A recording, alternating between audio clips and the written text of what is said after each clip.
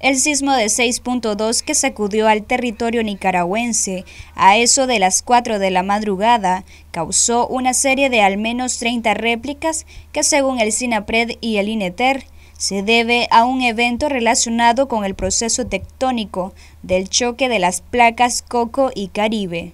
El Sistema Nacional para la Prevención, Mitigación y Atención de Desastre y el Instituto Nicaragüense de Estudios Territoriales informaron que al ser a gran profundidad en el mar, este sismo no causó daños en la costa. Y como informamos en nuestro comunicado inmediato, se trata de un evento relacionado con los procesos tectónicos del choque entre las placas tectónicas Cocos y Caribe. Eh, el evento fue procesado muy rápido por eh, los sismólogos de turno. Eh, dentro de dos minutos ya se envió el primer comunicado a las instituciones pertinentes aquí en Nicaragua, SINAPRED, el gobierno, lógicamente, también se envió a los países vecinos y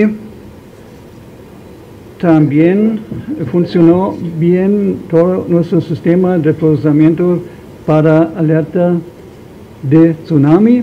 Bueno, eh, resultó que el sismo fue demasiado pequeño, magnitud 6.2, solamente no puede generar un tsunami en la zona de subducción.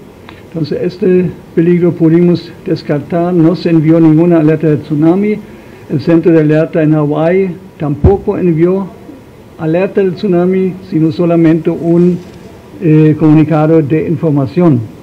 Primero vemos un mapa, nos acercamos y vemos un montón de puntitos, eh, estos puntos de diferentes tamaños. Esta estrella es el último sismo que ocurrió hace 16 minutos, solamente tiene la magnitud 3.4. Hay dos manchas un poco más grandes, esa es la ubicación del sismo fuerte, a las, casi a las 4. Aquí podemos hacer clic y vamos a ver una información, magnitud 6.2. Bueno, la, la, profundidad a veces, eh, dado que se reprocesa el evento una y otra vez, puede variar. ¿no? Y otros aquí hay uno, magnitud 5.2. Entonces, esas son las réplicas del sismo fuerte.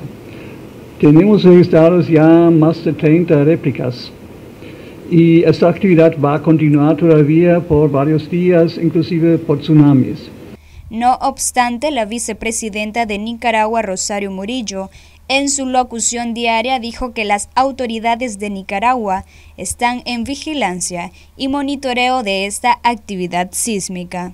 Para Noticias 12, Luisa Centeno.